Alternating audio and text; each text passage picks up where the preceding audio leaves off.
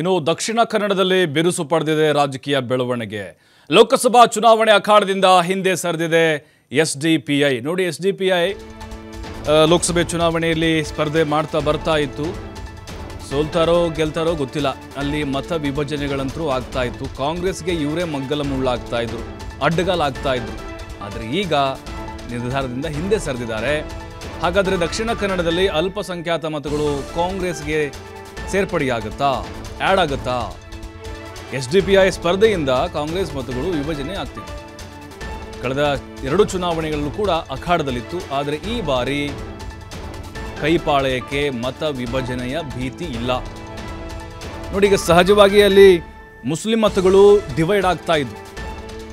ಈಗ ಕಾಂಗ್ರೆಸ್ಗೆ ಮುಸ್ಲಿಂ ಮತಗಳು ಸಾಂಪ್ರದಾಯಿಕ ವೋಟ್ ಬ್ಯಾಂಕು, ಆದರೆ ಎಸ್ ಡಿ ಪಿ ಐ ಅದು ಕೂಡ ಮುಸ್ಲಿಂ ಸಂಘಟನೆ. ಅಂದರೆ ಆ ಬೇಸ್ ಇರೋದ್ರಿಂದಾಗಿ ಸಹಜವಾಗಿಯೇ ಮುಸ್ಲಿಂ ಓಟ್ ಬ್ಯಾಂಕನ್ನು ಕೂಡ ಅವರು ಡಿವೈಡ್ ಮಾಡ್ತಾ ಇದ್ರು. ಕಾಂಗ್ರೆಸ್ಗೆ ಹೋಗುವಂತಹ ಮತ ಅಲ್ಲಿ ಹೋಗ್ತಾ ಇತ್ತು. ಅವನ ಅಭ್ಯರ್ಥಿ ಗೆಲ್ತಾನೋ ಬಿಡ್ತಾನೋ ಗೊತ್ತಿಲ್ಲ. ಅವ್ರ ಅಭಿಮಾನಕ್ಕೋಸ್ಕರ ಹಾಕ್ತಾ ಇದ್ರು ಅವರು. ಸಮುದಾಯದ ಒಂದೊಂದು ಒಂದು ಅಭಿಮಾನದಿಂದ ಹಾಕ್ತಾ ಇದ್ರು. ಬಟ್ ಈಗ ದಕ್ಷಿಣ ಕನ್ನಡದಲ್ಲಿ ಕಾಂಗ್ರೆಸ್ ಅಭ್ಯರ್ಥಿಗೆ ಈ ಬಾರಿ ಆ ಭಯ ಕಾಡಲ್ಲ. ಪ್ರತಿ ಬಾರಿ ಹಾಕ್ತಾ ಇದ್ರು. ಕರಾವಳಿಯ ಕೆಲವು ಭಾಗಗಳಲ್ಲಿ ಮುಸ್ಲಿಂ ಸಮುದಾಯದ ಶಕ್ತಿ ಬಹಳ ಇದೆ. ಅಂದರೆ ವೋಟ್ ಬ್ಯಾಂಕ್ ಕೆಲವೊಂದಿಷ್ಟು ಕ್ಷೇತ್ರಗಳಲ್ಲಿ. ಉದಾಹರಣೆಗೆ ನಾವು ಉಳ್ಳಾಲ ತೆಗೆದುಕೊಳ್ಳೋಣ. ನೋಡಿ ಅಲ್ಲಿ ಖಾದರ್ ಎಷ್ಟು ಈಸಿಯಾಗಿ ಗೆದ್ದು ಬರ್ತಾ ಇದ್ದಾರೆ. ಅಂದರೆ ಕೆಲವೊಂದಿಷ್ಟು ಕ್ಷೇತ್ರಗಳಲ್ಲಿ ಆ ಸಮುದಾಯದ ಪ್ರಾಬಲ್ಯ ಇದೆ, ವೋಟ್ ಬ್ಯಾಂಕ್ ಜಾಸ್ತಿ ಇದೆ. ಅಲ್ಲೆಲ್ಲ ಕಡೆಗಳಲ್ಲೂ ಕೂಡ ಈಗ ಸಹಜವಾಗಿಯೇ ವೋಟ್ ಅಲ್ಲಿ ಡಿವೈಡ್ ಆಗ್ತಾ ಇತ್ತು.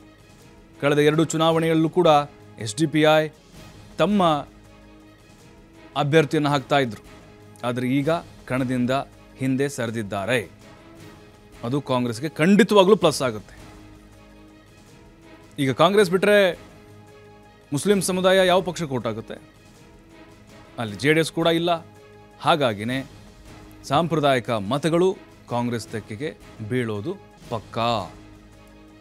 ಎಸ್ ಡಿ ಪಿ ಐ ಅಭ್ಯರ್ಥಿಗಳನ್ನು ಹಾಕ್ತಾ ಇಲ್ಲ ಈ ಬಾರಿ. ಮಾತುಕತೆ ನಡೆದಿದೆಯೋ ಅಥವಾ ಸುಮ್ಮನೆ ಯಾಕೆ ಅಭ್ಯರ್ಥಿಯನ್ನು ಹಾಕೋದು ಮತ್ತಷ್ಟು ಮಾಹಿತಿ ಆದಿತ್ಯ ನೀಡ್ತಾರೆ. ಆದಿತ್ಯ ಪ್ರತಿ ಚುನಾವಣೆಯಲ್ಲೂ ಕೂಡ ಕಳೆದೆರಡು ಚುನಾವಣೆಯಲ್ಲೂ ಕೂಡ ಕಾಂಗ್ರೆಸ್ ಅಭ್ಯರ್ಥಿಗೆ ಎಸ್ ಡಿ ಪಿ ಅಭ್ಯರ್ಥಿನೇ ಅಡ್ಡಗಾಲಾಗ್ತಾ ಇದ್ರು, ಮತ ಡಿವೈಡ್ ಆಗ್ತಾ ಇತ್ತು. ಆದರೆ ಈ ನಿರ್ಧಾರಕ್ಕೆ ಬಂದಿದ್ದಾರೆ ಈಗ, ಹಿಂದೆ ಸರಿತಾ ಇದ್ದಾರೆ ಕಣದಿಂದ ಮಾತುಕತೆಗಳು ಏನು ನಡೆದಿರ್ಬೋದಾ ಹೇಗೆ ಅಂತ? ಪ್ರಭು ನಿಜವಾಗ್ಲು ಈ ಬಾರಿಯ ಒಂದು ಕಾಂಗ್ರೆಸ್ ಅಭ್ಯರ್ಥಿಗೆ ಒಂದು ರೀತಿ ಲಾಭ ತಂದು ಕೊಡುವಂತಹ ಬೆಳವಣಿಗೆ ಇದು. ಯಾಕಂದ್ರೆ ಎಸ್ ಟಿ ಪಿ ಬಿಜೆಪಿ ಬದಲಾಗಿ ಕಾಂಗ್ರೆಸ್ಗೆ ಅರಗಿಸಿಕೊಳ್ಳೋದಕ್ಕೆ ಆಗ್ತಾ ಇರಲಿಲ್ಲ. ಅಷ್ಟರ ಮಟ್ಟಿಗೆ ಅದರೊಂದು ಪ್ರಭಾವ ಅನ್ನುವಂಥದ್ದು ಪ್ರತಿ ಚುನಾವಣೆಯ ಹೊತ್ತಿನಲ್ಲೂ ಕೂಡ ಜಾಸ್ತಿ ಆಗ್ತಾ ಇತ್ತು. ಕಳೆದ ಚುನಾವಣೆಯಲ್ಲೂ ಕೂಡ ಸುಮಾರು ಎಸ್ ಟಿ ಪಿ ಅಭ್ಯರ್ಥಿಗಳು ನಲವತ್ತ ಆರು ಸಾವಿರ ಮತಗಳನ್ನ ಪಡೆಯುವಲ್ಲಿ ಯಶಸ್ವಿಯಾಗಿದ್ರು. ಇದನ್ನ ನಾವು ಗಮನಿಸ್ತಾ ಹೋದ್ರೆ ಈ ಮತಗಳೆಲ್ಲವೂ ಕೂಡ ಕಾಂಗ್ರೆಸ್ ಪಾಲಾಗಬೇಕಾಗಿತ್ತು. ಇದರಲ್ಲಿ ಬಹುಸಂಖ್ಯಾತ ಮುಸಲ್ಮಾನ್ ಸಮುದಾಯದ ಒಂದು ಮತಗಳೇ ಇದೆ. ಅದು ಕಾಂಗ್ರೆಸ್ನ ಸಾಂಪ್ರದಾಯಿಕ ಮತಗಳು ಆದ್ರೆ ಎರಡು ಸಾವಿರದ ಹದಿನಾಲ್ಕರಿಂದ ಹಿಡಿದು ಎರಡ್ ಸಾವಿರದ ಹತ್ತೊಂಬತ್ತರವರೆಗೂ ಕೂಡ ಈ ಮತಗಳೆಲ್ಲವೂ ಕೂಡ ಏನು ಎಸ್ ಟಿ ಪಿ ಐ ಪಾಲಾಗ್ತಾ ಇತ್ತು. ಆದ್ರೆ ಈ ಬಾರಿ ಆ ಮತಗಳು ಕಾಂಗ್ರೆಸ್ಗೆ ಲಾಭ ತಂದು ಕೊಡುವಂತಹ ಎಲ್ಲಾ ಸಾಧ್ಯತೆಗಳು ಕೂಡ ಇದೆ. ಆ, ಏನು ನಲವತ್ತಾರು ಸಾವಿರ ಮತಗಳು ಕಳೆದ ಬಾರಿ ಎಸ್ ಟಿ ಪಿ ಪಾಲಾಗಿತ್ತು ಆ ಮತಗಳು ಈ ಬಾರಿ ಕಡಾಖಂಡಿತವಾಗಿ ಕಾಂಗ್ರೆಸ್ ತೆಕ್ಕೆಗೆ ಬೀಳುತ್ತೆ ಅನ್ನುವಂಥದ್ದು ಸದ್ಯ ಚರ್ಚೆ ಆಗ್ತಾ ಇರುವಂತಹ ವಿಚಾರ. ಸೊ ಇದು ಯಾಕೆ ಈ ತರದ ಒಂದು ಬೆಳವಣಿಗೆ ಆಗ್ತಾ ಇದೆ ಅನ್ನುವಂಥದ್ದನ್ನ ಕೂಡ ನಾವು ಗಮನಿಸ್ತಾ ಹೋಗ್ಬೋದು. ಕಳೆದ ಬಾರಿ ಅದಕ್ಕಿಂತ ಹಿಂದಿನ ಬಾರಿ ಕೂಡ ಅನೇಕ ಮಾತುಕತೆಗಳು ನಡೆದಿತ್ತು. ಅಂದ್ರೆ ಕಾಂಗ್ರೆಸ್ಗೆ ಒಂದು ಮತ ವಿಭಜನೆಗೆ ಕಾರಣವಾಗುತ್ತೆ. ಎಸ್ ಟಿ ಪಿ ಅಭ್ಯರ್ಥಿ ನಿಂತ್ರೆ ಮುಸ್ಲಿಂ ವೋಟ್ ಅನ್ನುವಂಥದ್ದು ಡಿವೈಡ್ ಆಗುತ್ತೆ ಅನ್ನುವಂಥ ಅನೇಕ ಮಾತುಕತೆಗಳು ನಡೆದ್ರು ಕೂಡ ಎಸ್ ಟಿ ಏನಿದೆ ಅವ್ರು ಹಠ ಬಿಡದೆ ಅಭ್ಯರ್ಥಿಗಳನ್ನ ಕಣಕ್ಕಿಳಿಸ್ತಾ ಇದ್ರು. ಆದ್ರೆ ಈ ಬಾರಿ ಕೂಡ ಅಂತಿಮ ಹಂತದವರೆಗೂ ಕೂಡ ಎಸ್ ಟಿ ಪಿ ಒಳ ವಲಯದಿಂದ ಮಾಹಿತಿ ಬರ್ತಾ ಇತ್ತು. ಈ ಬಾರಿ ಕೂಡ ಅಭ್ಯರ್ಥಿಗಳು ಕಣಕ್ಕಿಳಿತಾರೆ, ಇಳಿಬಹುದು ಒಂದಿಷ್ಟು ಆಕಾಂಕ್ಷಿಗಳ ಹೆಸರಿದೆ ಅನ್ನುವಂಥದ್ದು. ಆದ್ರೆ ಅಂತಿಮ ಕ್ಷಣದಲ್ಲಿ ಎಸ್ ಟಿ ಪಿ ಐ ಬಾರಿ ಸ್ಪರ್ಧೆಯಿಂದ ಹಿಂದೆ ಸರಿದಿರುವಂತದ್ದು ಎಲ್ಲೋ ಒಂದು ಕಡೆ ಬಿಜೆಪಿಯ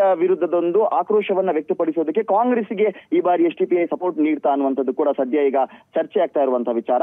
ಹಾಗಾಗಿ ಈ ಬಾರಿ ಕಾಂಗ್ರೆಸ್ ಏನು ಒಂದು ತಂತ್ರವನ್ನ ರೂಪಿಸಿದೆ? ಬಿಲ್ಲವ ಸಮಾಜವನ್ನ ಸೆಳಿಬೇಕು ಅಂದ್ರೆ ಅತಿ ಹೆಚ್ಚಿನ ಸಂಖ್ಯೆಯಲ್ಲಿ ಇರುವಂತದ್ದು ಬಿಲ್ಲವ ಸಮುದಾಯ ದಕ್ಷಿಣ ಕನ್ನಡ ಜಿಲ್ಲೆಯಲ್ಲಿ. ಇದಾದ ಬಳಿಕ ಮುಸ್ಲಿಂ ಸಮುದಾಯ.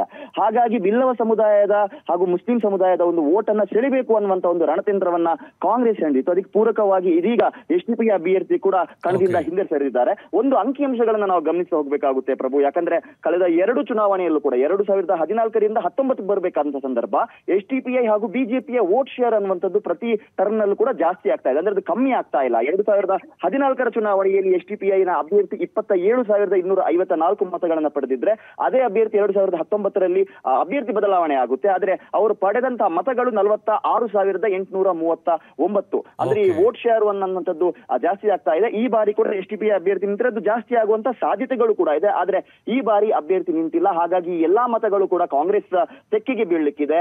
ಅಂತಿಮವಾಗಿ ಬಿಲ್ಲವ ಸಮಾಜ ಹಾಗೂ ಮುಸ್ಲಿಂ ಸಮಾಜ ಸೇರಿದಂತೆ ಅಲ್ಪಸಂಖ್ಯಾತ ಸಮುದಾಯ ಕಾಂಗ್ರೆಸ್ ಪಕ್ಷದ ಕೈ ಹಿಡಿದ್ರೆ ಈ ಬಾರಿ ಕಾಂಗ್ರೆಸ್ನ ಗೆಲುವು ನಿಶ್ಚಿತ ಅನ್ನುವಂತ ಚರ್ಚೆಗಳು ರಾಜಕೀಯ ಪಡಸಾಲೆಯಲ್ಲಿ ಆಗ್ತಾ ಇದೆ ಪ್ರಭು. ಥ್ಯಾಂಕ್ ಯು ಆದಿತ್ಯ ಮಾಹಿತಿಗಾಗಿ.